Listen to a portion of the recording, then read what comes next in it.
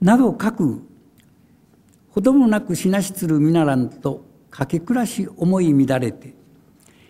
枕も起きぬばかり人やりならず流し添えつついささか暇ありとて人々立ち去りたまえるほどに賢に恩踏み立てまつれたもう。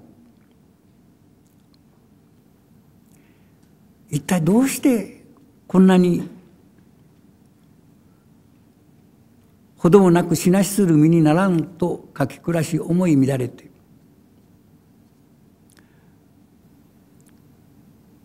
わずかな間に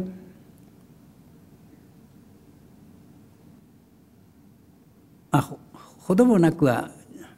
時間ではなくって我が身のほどもなくね一体どうしてこんなふうに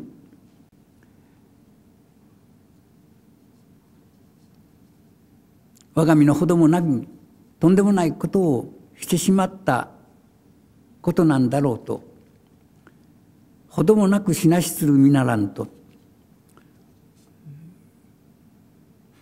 自分の身のほど自分の境遇のほどとかけ離れたとんでもない罪を犯してしまったことなんだろうと書き暮らし思い乱れて心もすっかり暗くなって思い乱れて枕も起きぬばかり人やりならずな流し添えつつ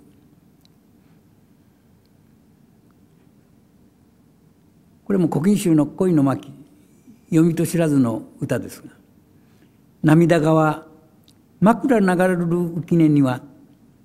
夢も定かに見えずぞありける。涙川枕流れる浮念には夢も定かに見えずぞありける。涙が川のように溢れ出て枕も流れそうになるほどの我が浮根については辛い思い恋ゆえの辛い思いを耐えて寝るその浮根の夢にも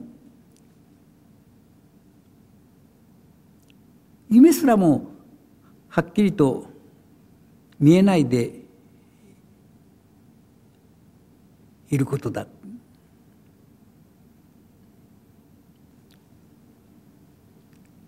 まあ、それを引き歌にして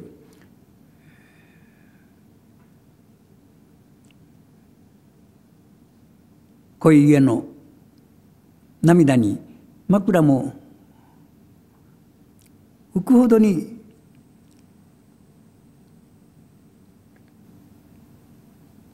我が胸のひたすらな思いに涙をこぼしこぼしして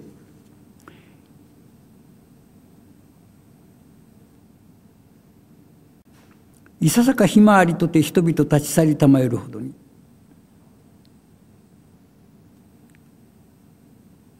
うんちょっと待ってください。えっ、ー、とそこ少し飛ばしたのかな、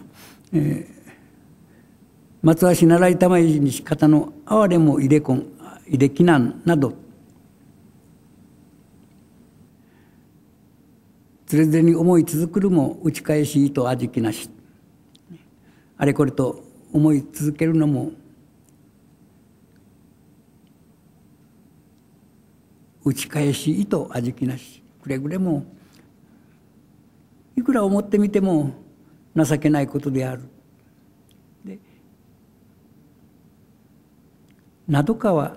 あなど書くほどもなくしなしつる身ならんと書き暮らし思い乱れて枕も起きぬばかり人やりならず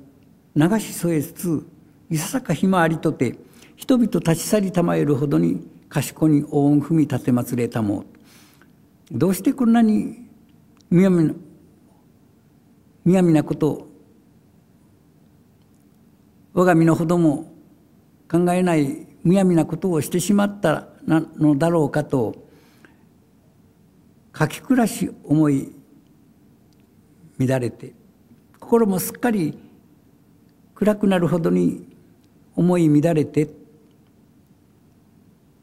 であの涙川枕に流れる歌じゃないけれども夢も定かに見えないほど枕もその涙の水に浮かぶほど人やりにならず流し添えつつ他人のせいではない自分のせいで涙を流し流ししてでわずかの暇があるというのでそういう中でもわずかの病のほっと安らぐ折があるというので暇ありとでっていうのはこの病の小康状態があるからということですね。そういう思いの中でいささか病の安らぐ折があるというので